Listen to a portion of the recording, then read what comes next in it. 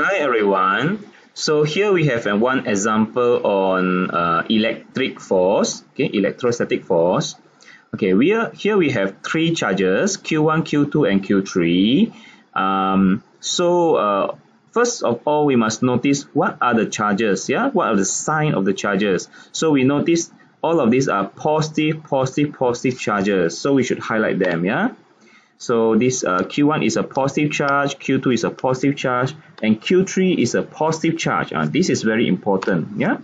Next of next we need, need to see what uh, is a question. Okay, ask for net force acting on Q2. Yeah. So Q2. So we only draw the force acting on Q2 only.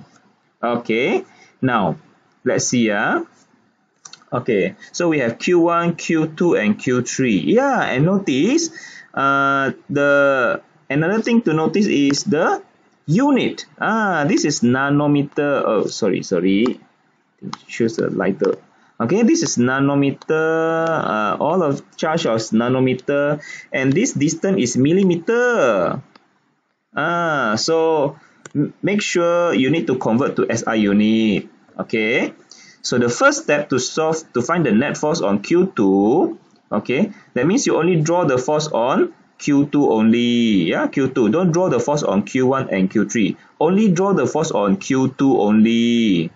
Okay, now, uh, you must, first step is must redraw the diagram, okay, redraw the diagram. So, um, and then we need to draw the direction of the forces on Q2 only, okay.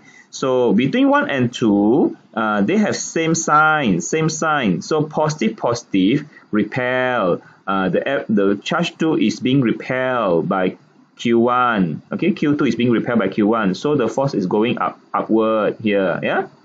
Uh, and then 2 and 3 is uh, also positive, positive. So being repelled, uh, repelled. So F32, yeah, uh, means the 2 is being repelled by Q3. Okay? And then uh, you need again need to put the theta here theta angle theta. We need the theta because we need to resolve f12 and f32 into x and y components okay? You see this uh, horizontal line and the vertical line is is the x and y component. We need to resolve okay? And this angle theta uh, you can find using the uh, this 4 and 3 yeah 4 and 3 yeah. Uh, so I write here 4 and 3 uh, use the trigonometry. You can find the theta okay. Now and um, and of course this 5 is because of 3 4 5 right? Because it's a right angle triangle so 3 4 5 isn't it? Uh, same to here so all right now uh, the next step is you must find the force of F12 and F32 okay F12 F32 so the the equation for force is KQQ over R square yeah? K double Q over R square. So F12 means KQ1 Q2 over R12 square okay? Uh, so you put in the value okay? Uh, put in the value Q1 Q2 and the distance between 1 and 2 eh? distance between 1 and 2 is 5 millimeter yeah? Uh, millimeter 5 millimeter. So need to change to uh, you see here? Uh, need to change to uh, SI unit. Uh, negative milli is negative 3 and then just now the nano is negative 9 ah you see or not? Uh, these are very important. Okay? Uh, okay so you do the same for F32, find KQ2, Q3 over R square, okay? And make sure, don't forget, you have the, you have the square, ah, yeah? This here you have square, ah, not R, divide by R only, you have divide by R square, ah, okay? Good.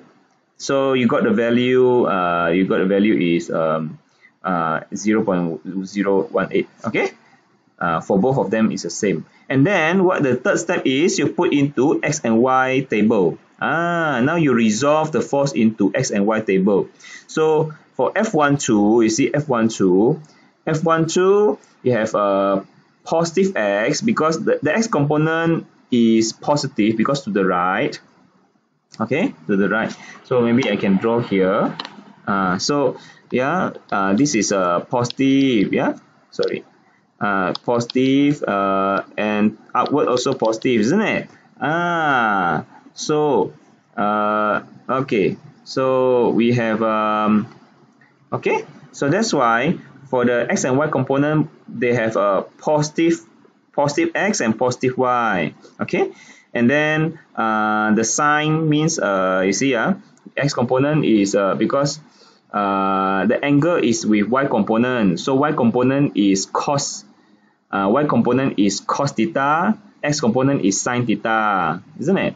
Uh, x component is sin theta y component is cos theta okay? And then f32 f32 is uh, to the left to the left you see? Okay I draw I draw here is to the left uh, to the left so it's negative uh, and it's uh, going up also positive uh, see uh, uh, so uh, that's why F32 the direction is uh, for S component is negative. Negative because to the left to the left. And Y component is positive because upward. Okay? And then also sin theta cos theta. Okay? Uh, because the angle with y component. So y, com y component is cos theta. Okay? Y component is cos theta. X component is sin theta and so the s component for both forces they cancel each other become zero and the y component add up we get this one. Uh, so the fourth step is what's the resultant force?